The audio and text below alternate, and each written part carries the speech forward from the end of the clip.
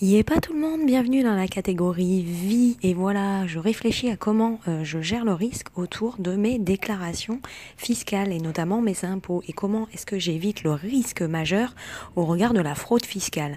Voilà, on peut faire de la fraude fiscale soit parce qu'on est non sachant, on n'avait pas connaissance euh, de la réglementation, ça peut être également une omission, un oubli, mais l'acte peut également être volontaire. Et c'est là où il va y avoir une grosse différence entre euh, les pénalités qui vont être mises en place. Est-ce que euh, c'est conscient, inconscient? Voilà, est-ce que l'acte était volontaire et involontaire? Donc forcément, on comprend que si c'est volontaire, vous allez être plus responsable. Si c'est involontaire, effectivement, euh, vous serez normalement moins pénalisé.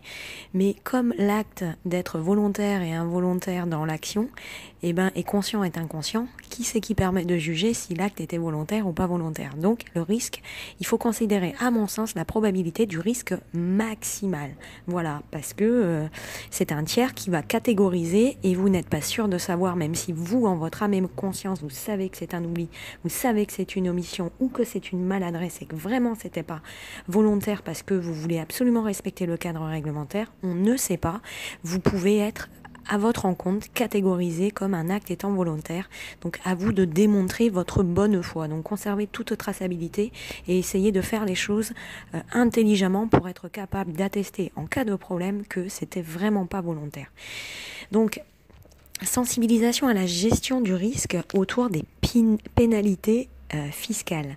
Alors moi, dans l'exemple, euh, je vais dire de pénalité, de redressement fiscal ou d'omission qui pourrait nous coûter un petit peu cher, euh, voilà, j'ai euh, essayé euh, de décliner en fait des exemples qui concernent un peu voilà la chaîne autour de Yepa, notamment dans le fait de création d'entreprise.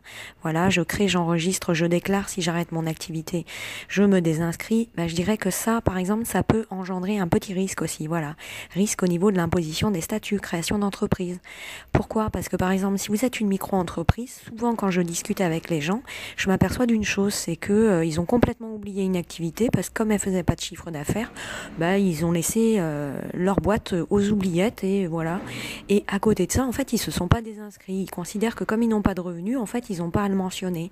C'est là où je dis attention, même si on fait pas de revenus et même si votre chiffre d'affaires dans le cadre de votre micro-entreprise c'est zéro, il est important de tout reporter parce que vous aurez des pénalités. Pareil au regard de vos déclarations ou cotisations caisse, faites attention euh, et assurez-vous que euh, voilà, vous êtes bien inscrit au niveau du RSI de la CIPAF, que vous êtes bien enregistré, que vous faites bien vos déclarations. Parce que là aussi, j'observe beaucoup trop souvent des gens qui me disent Ouh là ça fait deux ans que j'ai pas payé mon RSI et ma CIPAF. Faites attention, ils vont vous rappeler, c'est certain, et combien ça va vous en coûter. Donc si vous avez mis en place une activité pour essayer de générer des revenus parce que votre situation était difficile, moi je vous invite à réfléchir justement, ne vous enfoncez pas, faites attention. Voilà, tout ce qui peut paraître très simple à mettre en place comme la création d'une micro-entreprise, c'est chouette. Mais faites attention, il y a des choses aussi pour la sortie. J'ai fait des castes là-dessus. Et même si, euh, voilà, on a l'impression que c'est pas grand-chose parce que les frais de création, de sortie, voilà, évidemment, peut-être que ça va me coûter moins de 1000 euros, mais c'est à faire quand même. C'est du détail administratif, c'est du temps, c'est de la paperasse, mais c'est à faire. Donc attention aux pénalités, attention au redressement, aux petits retards. Et voilà, même si c'est que des petmis pourcentages de pénalités, ben, mis bout à bout, euh, c'est important. C'est important et un sou durement gagné est un sou durement gagné, donc faites attention.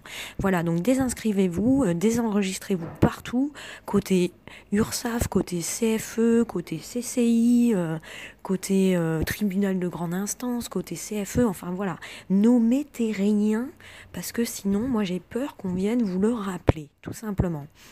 Parce qu'aujourd'hui, il y a des choses qui sont dématérialisées quand on crée une société. Donc c'est dématérialisé à l'entrée, c'est-à-dire que vous pouvez facilement vous enregistrer et créer, mais par contre à la sortie, c'est pas la même. Voilà, c'est moins dématérialisé, va falloir aller voir une institution par une institution. Donc en fonction de comment ça évolue, attention avant de vous lancer. Vérifiez voilà l'administratif à l'entrée et à la sortie et l'administratif également pendant comment je gère pendant et j'oublie rien. Pour ça, je dis souvent faites-vous des grilles d'audit, c'est-à-dire listez-vous tout ce qu'il vous faut pour créer voilà, quel organisme vous allez aller voir, qui fait quoi, quand, comment, voilà.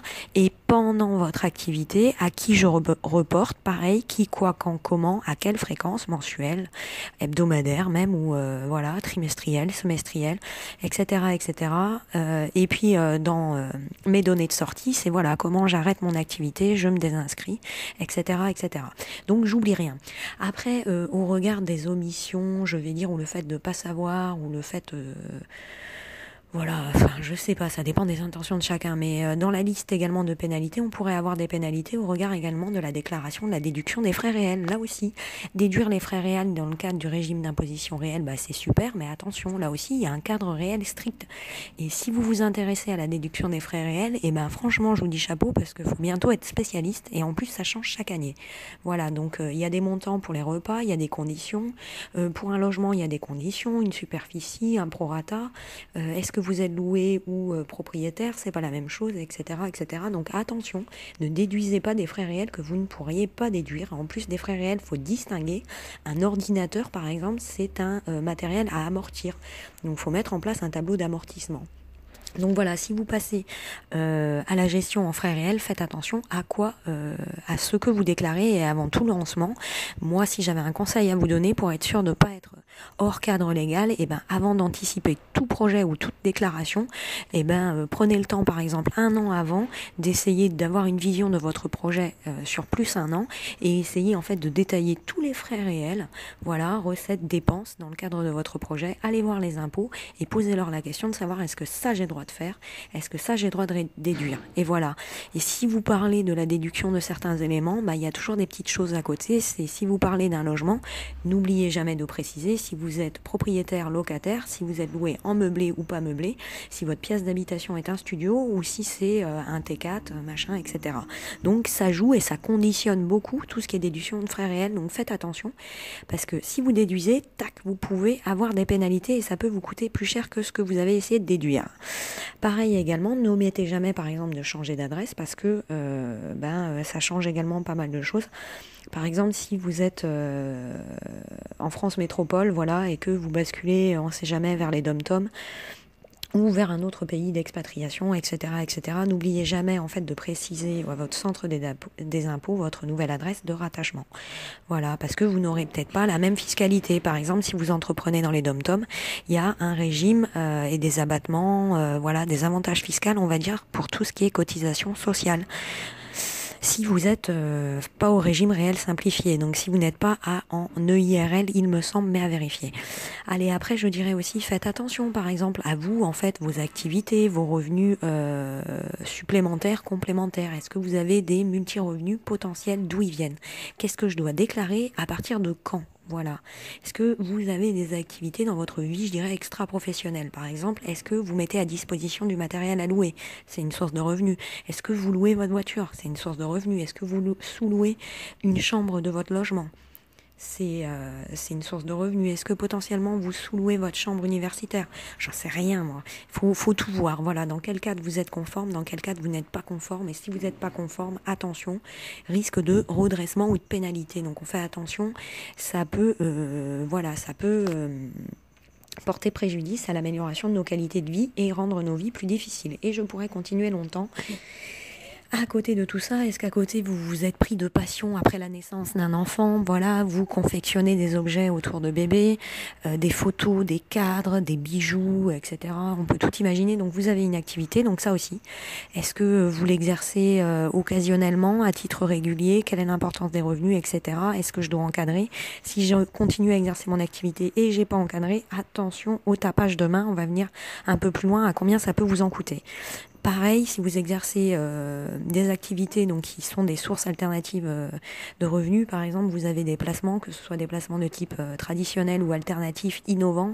Voilà, je pense à tous ces nouveaux moyens de paiement alternatifs qui explosent voilà, qui n'ont pas de valeur monétaire au sens juridique strict, mais attention, il y a quand même un cadre qui se met en place. Donc, de toute façon, tout ce qui amène une plus-value est à déclarer. Et En plus de ça, vous avez aussi l'avantage cette fois-ci, par exemple, de pouvoir déduire vos moins-values. Faut y penser aussi. Donc allez, je vais essayer de comprendre. Je résume. En fait, le but, bah, c'est d'essayer de vous améliorer en fait et d'améliorer nos vies. Comment? En comprenant notre cadre fiscal, en comprenant nos risques et également nos opportunités autour du cadre fiscal. Là, j'ai plutôt parlé des risques et euh, de connaître les risques pour mieux les anticiper. Voilà. Pourquoi ben, Essayer de les gérer au mieux et avec une bonne volonté. Voilà, et de savoir où on met les pieds.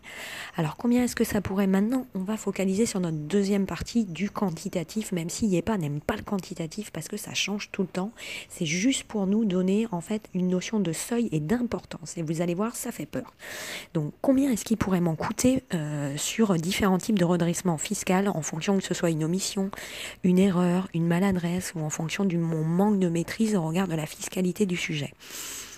Alors, combien il pourrait m'en coûter? Bah Déjà, ce qu'il faut voir, c'est est-ce que c'est une omission, une erreur, une maladresse? Est-ce que tout simplement vous ne le saviez pas? Est-ce que simplement vous ne l'avez pas pu l'anticiper? Est-ce que c'était volontaire ou involontaire? Moi, je dirais que le risque associé à tout ça, c'est que potentiellement, voilà, euh, le redresseur fiscal, si je puis dire, le monsieur qui va venir taper sur vos petites mains ou la gentille dame qui va vous dire Hey Eh ben, en fait, elle a malheureusement beaucoup de choses à vérifier et en fait, elle ne peut pas s'assurer de votre bon vouloir et de votre volonté. Donc, en règle générale, s'ils sont débordés, bah forcément, on comprend qu'il y a un risque qu'ils vont pas faire du cas par cas et ils vont pas chercher à comprendre si oui ou non euh, votre volonté était bonne. Donc, en fait, vous êtes susceptible de prendre le prix max sans pouvoir essayer de vous expliquer. Donc moi je dirais, pour éviter ça et plutôt garder l'opportunité et aider le législateur à comprendre que vous ne vouliez pas manquer de bonne volonté, ben soyez organisé, gardez les éléments de preuve de votre progression et euh, voilà, attestez de votre bon vouloir. Ben, ça peut être voilà votre traçabilité qui vous permet d'attester que vous avez bien euh, essayé de chercher des informations auprès du centre des impôts, que vous avez vraiment essayé de comprendre euh, peut-être les optimisations fiscales en allant voir avocat ou expert comptable, qui vous ont donné des réponses, qui vous ont donné une confirmation de réponse. Éventuellement même rapprochez-vous de l'INSEE. L'INSEE va vous donner votre code APE, c'est la catégorie dont vous dépendrez. Faites attention là aussi à la déclaration et à la nomination d'activité en fonction de comment vous allez expliquer votre activité, vous allez être mis dans une catégorie. Donc forcément, votre responsabilité, elle est, euh, comment je dirais, impliquée. Si vous définissez mal votre catégorie, forcément, l'INSEE va vous donner peut-être le mauvais code APE. Donc du coup, vous serez rattaché à une mauvaise convention collective. Et donc peut-être après, il faudra envisager une re-régulation, régularisation de vos impôts parce que vous n'étiez pas dans la bonne catégorie. Donc garder la traçabilité également de départ, c'est comment est-ce que quelle est l'origine de votre activité principale, secondaire si vous êtes multi-activité et comment vous générez vos revenus? Qui c'est qui vous paye? Le client, du revenu publicitaire, euh, de la facturation, de la TVA, etc. Je garde tout pour savoir à quelle catégorie je suis et je valide avec l'INSEE la catégorie. Et voilà, j'évite que je sois obligé de payer des frais supplémentaires pour me régulariser. Voilà, et en plus après, on pourrait me dire, mais non, vous avez fait exprès euh, d'orienter, euh, voilà, non spécifiquement la catégorie et autres, donc ne sous-estimez jamais en fait l'importance de vos choix. C'est ce que je veux dire. Je sais que c'est hyper compliqué et moi-même qui essaie vraiment de chercher à comprendre, je suis mais alors complètement perdu. Mais tout ce que je retiens, c'est ce que je vais vous expliquer maintenant, c'est le prix fort des pénalités. Si par exemple vous êtes considéré comme un fraudeur non volontaire, eh ben malheureusement faites attention à votre portefeuille. Si la fraude, elle est indépendante de votre volonté, donc là, je vous l'ai dit, le problème, c'est que la subjectivité autour de tout ça, voilà, si la fraude, elle est indépendante de votre volonté, votre sanction, elle pourrait être en fait, comment je vais dire, euh, elle pourrait s'élever en fait et être calculée au regard de l'impôt à payer. Et donc en fait, elle pourrait être élevée jusqu'à 15%. Voilà, donc au final, vous allez payer en, deuxième, en 2017 plus de 25% de pénalité. Plus à ça, fraude non volontaire, donc indépendante de votre volonté, 1,5% d'amende forfaitaire annuelle calculée sur les sommes qui ne seront pas déclarées. Maintenant, le cas s'aggrave et le risque augmente et la pénalité augmente dans le cas de figure où vous êtes un fraudeur volontaire. C'est-à-dire que vous avez délibérément et consciemment mis en place euh, une partie de déclaration euh, qui a été euh, qui est non conforme. Donc dans ce cas de figure, soit vous avez omis de déclarer une partie, donc ou vous avez mal déclaré, bah là à ce moment-là vous êtes sanctionné deux fois plus. C'est-à-dire que vous arrivez au seuil de 30% de pénalité calculée à l'impôt à payer, soit au final à peu près 35% sur 2017. Et en plus de ça, vous rajouterez les 3% d'amende forfaitaire annuelle calculée sur les sommes non déclarées. Hop, on progresse dans l'échelle de risque et on arrive aux sanctions les plus lourdes, le risque majeur, le risque du récidiviste. Voilà vous aviez été pris avec votre véhicule pour alcoolémie et malheureusement vous continuez à rouler sans permis. Ce serait pour moi un peu le synonyme de ce troisième niveau de risque majeur. Donc là, la fraude, en fait, vous êtes quelqu'un qui était déjà fiché au niveau des non-conformités vous êtes considéré potentiellement comme un multirécidiviste, voilà, et la note pour vous, elle peut être salée. Et malheureusement, ça, ça peut vous mettre sur la paille définitivement, vous et votre famille. Donc quand vous faites quelque chose, pensez famille également. Le confort de vos enfants, voilà, qui repose indirectement sur vous et la prise de vos responsabilités et la gestion de vos risques. Donc si vous êtes un, fraudeur très lourd, multirécidiviste, et que vous avez la totale sur vos épaules, là, attention, c'est 40% de pénalité voilà, et avec un taux accrochez-vous, qui peut aller de 80% à 100%. Et moi, je dirais que j'aime pas les données quantitatives. Allez voir les cas de jurisprudence, mais à mon avis, c'est au cas par cas. Voilà, dans le cas de figure où il y a en plus, plus ou moins des sanctions pénales. Donc, à la sanction lourde, faudra ajouter, donc je vous ai dit, des pénalités qui vont osciller de 40 à 100%, plus 5% d'amende forfaitaire, plus ou moins des amendes et sanctions pénales, plus ou moins un emprisonnement qui peut aller jusqu'à 7 ans. Voilà, plus ou moins euh, également des pénalités qui peuvent montrer des amendes jusqu'à 2 millions d'euros, etc., etc. Donc, waouh, tout ce que je voulais vous dire, c'est faites attention où vous mettez les pieds. De nos jours, je ne sais pas si on a droit d'être un particulier non sachant. J'ai l'impression que pour arriver à subsister et améliorer nos conditions de vivre, en fait, il faudrait être capable d'avoir une logique qui nous permette de tout comprendre. Voilà, ce qui est fatigant. Alors, est-ce qu'on doit comprendre ou pas comprendre? À chacun sa façon de voir les choses, ses objectifs. Enfin, voilà je dirais que le sujet est très subjectif, mais tout ce que je veux vous faire comprendre, c'est que voilà, attention, fraude voulue, non voulue, omission, non sachant, j'ai fait une erreur, une boulette, je suis maladroit, etc. Faites attention, les pénalités peuvent vous coûter très très cher et elles s'alourdissent en 2017. Voilà tout ce que je voulais vous dire. Voilà, moi je vous, invite à bien gérer votre risque et au fond, mon souhait, c'est juste de vous souhaiter le meilleur. Voilà, euh, pensez votre vie dans un cadre réglementaire et essayez de vous simplifier les choses. Voilà.